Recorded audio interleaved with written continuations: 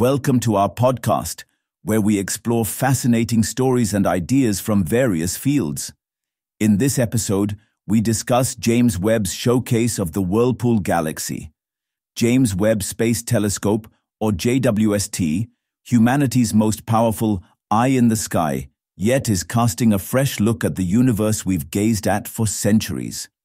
It may seem to us that it is clicking pictures that we have already clicked but these seeming repeat pictures are literally in fresh light. Among the latest to hit our ever-busy social media timelines is an infrared pic of the Whirlpool Galaxy. This galaxy is also known as M51 or NGC 5194. The galaxy has been clicked before, of course. The trusty old Hubble Space Telescope has captured the marvelous glory of the galaxy before this but the JWST has captured the latest image in infrared light. The Whirlpool Galaxy, as its name suggests, resembles a whirlpool, just like the flow of water when it is exiting a bathtub. The latest image has been taken by NIR-CAM and MIRI instruments of the James Webb Space Telescope. The NASA image shows the warm dust that is concentrated along the galaxy's spiral arms, it is visible as dark red spots. The bright areas along the arms are where the stars are forming. These regions lead to blue and white central ones.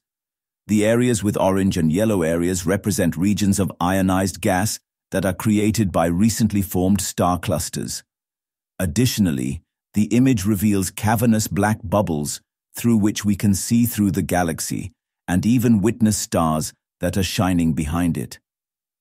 The Whirlpool Galaxy is 31 million light-years away from us and lies in the constellation Canes Venatici. James Webb Telescope is observing the M51 galaxy as part of a series of observations called Feedback in Emerging Extragalactic Star Clusters, or FEAST. According to the European Space Agency, or ESA, the FEAST observations were designed to shed light on the interplay between stellar feedback and star formation in environments outside of our galaxy, the Milky Way.